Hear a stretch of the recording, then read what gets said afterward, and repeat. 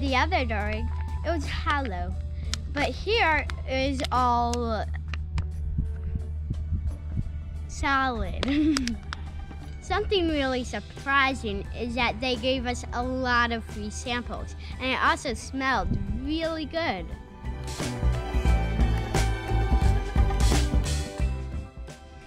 I will recommend the Durig because it smells good and they made the chocolate there and there's a lot of different varieties of flavors to pick.